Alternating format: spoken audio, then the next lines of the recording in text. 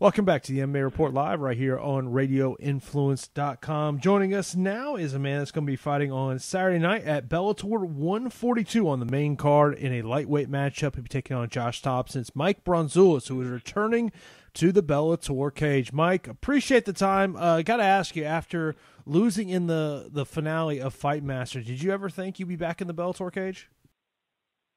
Uh, you know, I wasn't sure. You know, after the the Fight Master finale, I asked for my release, and uh, you know, I got it.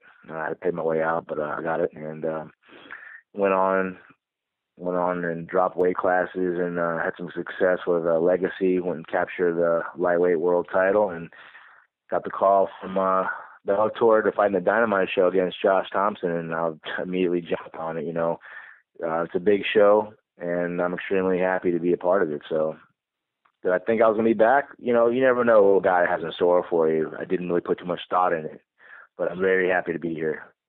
You know, in terms of obviously you've won three in a row here, but prior to that you did lose three in three in a row. One of those being to Joe Riggs in the Fight Master finale. Did you did you make any changes uh, because of what happened in those three fights? Obviously, you talked about going down uh, to lightweight, but were there any other major changes that you made uh, that have made you a better mixed martial artist, or is it simple you've just been evolving?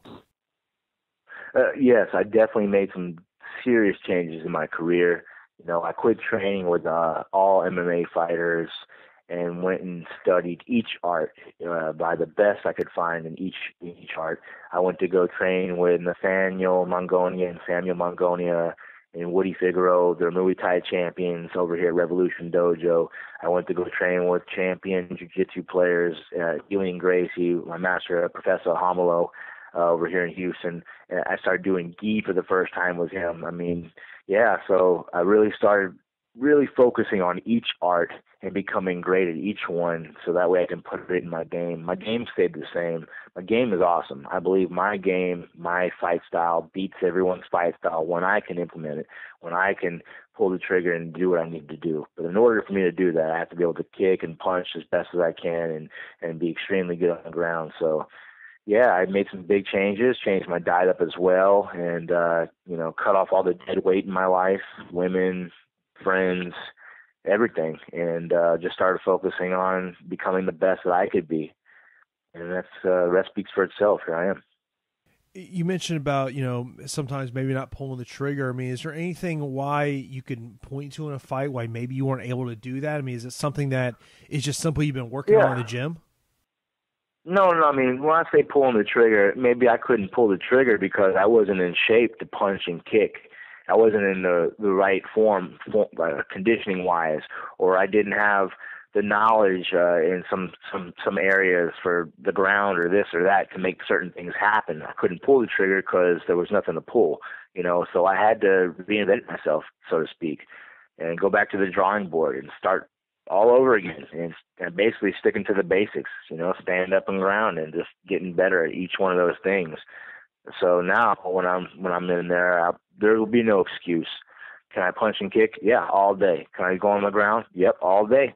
And uh, lots of knowledge now, and uh, more than I've ever had. And I'm just getting better with age. I am evolving through all this, and most people, when they get to be my age, they start going down. But uh, not me. I'm going up fast, and uh, I'm not going to stop. I'm going to keep going up. And I know it's it's very cliche to say, you know, this this fight is mm-hmm. the biggest fight of my career, but it, it really is for you. In fighting, you know, yeah, Josh Thomson, he's he's coming into Bellator after you know stint in Strikeforce and, and a stint in the UFC.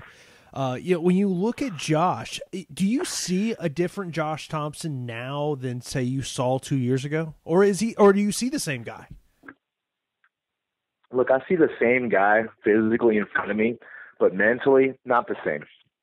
Um, there's a difference. I know what it's like to lose three big fights in a row, whether the the judges were wrong or not, which I believe the judges were wrong in the first two losses he had. Um, I thought he won. The last one was, you know, unanimous against Tony, and uh, I think that he lost that fight, Josh. But uh, it's the same Josh. He's awesome. A world champion, top ten in the world.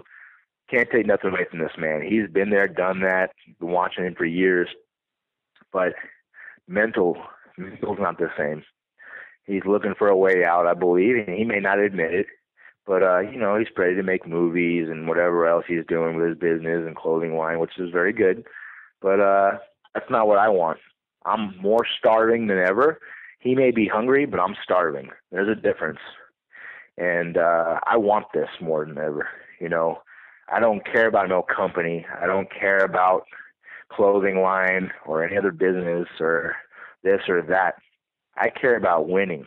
I care about becoming the world champion, and I'm going to do that. And I sacrifice everything in my life, every area, every person, everything to make this happen. And that's why it's going to happen because that's how much I want it. In, in terms of the fight, where does patience rank up there and keys to victory for you in this one? Uh, I just got to play my game. Keys of victory is just doing what I do, making sure I show up in shape, in the best shape of my life, and the rest is gonna, rest is just gonna fall into place. You know, I'm gonna win, and uh, in order for me to do that, I have to be in the best shape of my life so I can impose my will. Uh, patience, you can throw that out the window.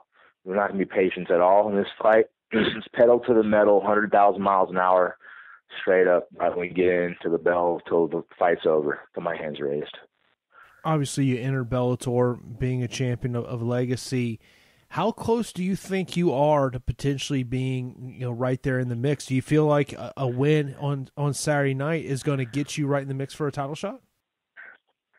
Yeah, I don't see why me beating Josh Thomson wouldn't set me up for a title shot, but uh, you know, we're just going to see what happens after this fight, what they want to do with me. Uh, they're probably not going to know what to do with me after this fight, but uh, I'm definitely going to create some controversy with this win, and uh, they're definitely going to have to think about it, you know, because, you know, um, I'm sure if Josh, you know, Josh, you know, were to win, uh, he'd be in line for a title shot, being as highly ranked as he is. So I don't see why me beating him wouldn't be any different. You know, I don't see who else would be ranked higher than him other than the champion, and that'd be the only fight that would make sense. Me getting through Josh to fight for the championship of Bellator.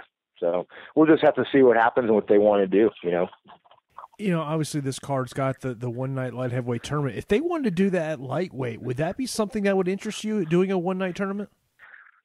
Yeah, I've always been a big fan of doing a tournament. I'm made for that stuff. I am so made for that. Like that's right up my alley. I would love to show how hardcore I am. You know, I would definitely win that. You know, um, I never thought it was fair when they have like an alternate come in. I know why they have to do that, but like an alternate coming in, it's fresh, that hasn't fought yet. That's kind of weird, you know. So I've never been a big fan of that, but uh, tournament format, yeah, that sounds really cool. Final thing here, and I appreciate you coming on the show here as just a couple days out from your fight here. Do you almost look at coming back to Bellator as unfinished business for you? Definitely it's unfinished business, even though it's got new president, new matchmaker, which has made it so much better than what it was. Uh, it's definitely unfinished business for me because I'm going to come back and uh, become the champion. That's what I'm here for. I didn't come back just to be some guy on the card. You know, it's not why I'm here. Uh, I'm here to be the champion of the world and take over and pump Bellator up as much as they're pumping this show up, I'm going to do my part to pump uh, my name up in Bellator and make fans love it even more. They're going to be like, wow, you see the Greek? Oh my God, that guy's amazing. I want people to jump out of their seats like it's a scary movie. Like, holy shit, got to watch the next episode of that. That's what I want. And of course, this will be going down on Saturday. Mike, I really appreciate time and good luck in the fight, man. Thank you for your time. I appreciate it. Have a great day.